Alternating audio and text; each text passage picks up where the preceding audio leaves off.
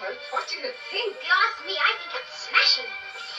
You certainly have a proper grown-up young lady in it anyway.